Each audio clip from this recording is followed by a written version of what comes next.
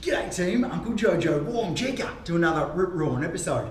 Today we're going to talk about datum heights. We're fixing up an apartment block here and we need to get a datum height throughout the entire apartment block. A datum height is a height that can be transferred around the entire apartment and we can take all of our measurements off that. Quite often on an apartment, the slab or the levels aren't 100% level when they're poured, or they might have a couple of curbs or bumps or snap crackles and pops. They may have, uh, they, they don't shift because it's an apartment block, so you'd hope that they don't shift, but there can be a little bit of um, high points or things like that in the floor. I learned this trick when I was building over in Europe, and what they do is they find a datum height the whole way round. So let's say it's the bench height. My bench height on this one is 920 millimeters off the floor, or uh, three foot, just a little bit over three foot, three foot and one inch. Here, I've got my height, my datum height. So I've taken that and I can set up my laser to that height.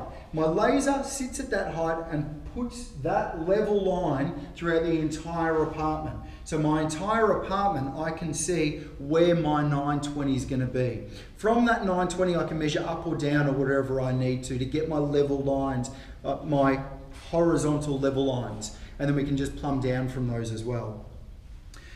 What that allows me to do is to build things is to build things from a level point down or up. What I mean by that, particularly what I mean by that is, or where we need that, is something like this. Where this door here is just one massive big sliding door. It's 2.4 metres wide by 2.2 metres high and it weighs about 95 kilos. So if you look at the floor here, you can see that this is rocking and rolling. If I get that level with this, then I'm actually 10 mil higher at this end than I am at the other end. Yet the other end still isn't touching. So that means that there's a big belly in the middle of this slab. If I try and level anything off this, I'm not going to get it right. So instead what I do is I create a datum mark the entire way around my apartment and everything can get leveled off that. I can then have a level point that everything is taken from, or what's called the datum point. That means that I can get everything Mickey Mouse grouse.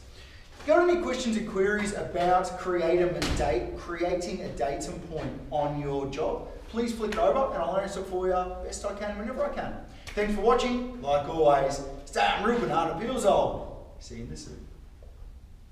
Nice.